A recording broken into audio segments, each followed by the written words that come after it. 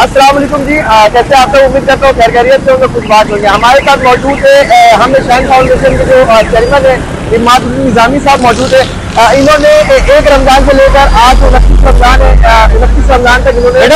लगाया तारीख नूरानी कबाब के बिल्कुल सामने। उनतीस दिन उनतीस रमज़ान किस तरह से लगाया है मैनेजमेंट किस तरह हुआ है आज मुझे जानते हैं। अस्सलाम वालेकुम। वालेकुम मर्द कैसे हैं? खैरियत है? एक रोजा से लेकर आज उनतीस रोजा हो गया। किस तरीके का दरखा- दस्तरखान लगा है? कैसा लगा? किस तरीके से मैनेजमेंट किया आपने? भाई मैनेज तो लगा आप ये काम जब खुद करते हैं ना खुद आके आप भी आ रहे हो ना यहाँ पे। जी, ठीक है? आपको कैसा फील होता है यहाँ से जाने माशाल्लाह बहुत अच्छा हुआ। अच्छा होता है ना अंदर से मुतमिन होते हो कि अपने हाथों से लोगों को खिलाया ठीक है? लोग पता लगता है एहसास होता है दर्द पता लगता है लोगों का। जब यहाँ लोग आ रहे होते हैं परेशान हाल होते हैं लोगों की परेशानियाँ किस तरह बैठ के खा रहे होते हैं। फिर आपने यहाँ देख लिया कि यहाँ पे सफ़ेद पोश लोग आके फैमिलीज़ आके बैठती हैं फैमिलीज़ खाना मांगने आती हैं ठीक है? तो भाई मेरे हम हम ना मैं आज आपको एक मैसेज देना चाहता हूँ ठीक है? हम यहाँ बैठ के ना कराची में ढाई तीन करोड़ की आबादी है।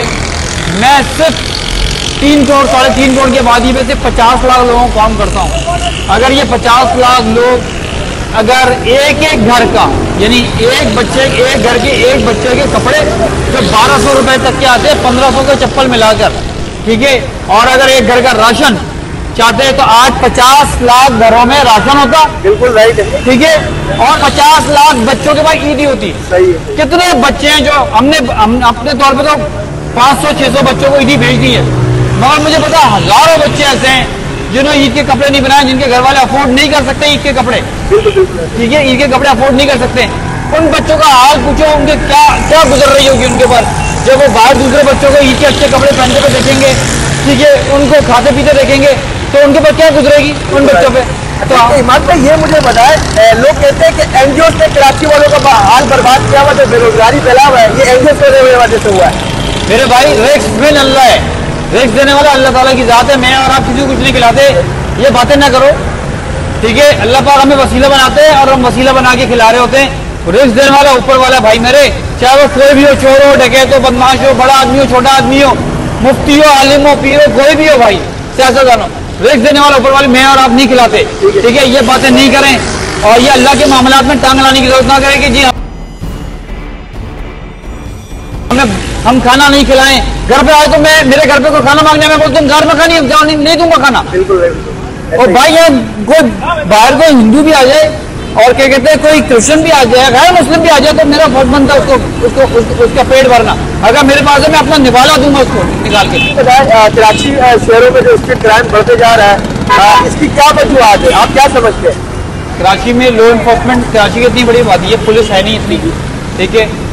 प्लस पुलिस के अंदर कराची के मकामी लोग नहीं हैं। ठीक है?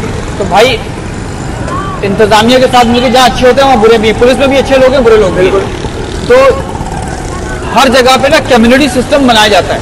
वो कम्युनिटी सिस्टम डेवलप करो, अपने एरिया को सिक्योर करो गार्ड रखो जॉबलेस लड़के जो हैं, उनको सिक्योरिटी कंपनी में भर्ती करा के उनको लीगल तरीके से खड़ा रखो। सारे मसला हो जाएँगे। पुलिस के साथ और रेंजर्स के साथ कराची की जो आवाम है, जो वो है, वो बामी ताल्लुक अपने इस्तेमाल करें। हमारे लॉ इन्फोर्समेंट में अच्छे लोग मौजूद हैं, वो अच्छा काम करना चाहते हैं, वो शहर के लिए दर्द रखते हैं। बिल्कुल वो भले किसी और सूबे से आए हुए हो मगर वो सूबाइत नहीं सोचते वो कौमियत पे बात नहीं करते वो जबान पे बात नहीं करते।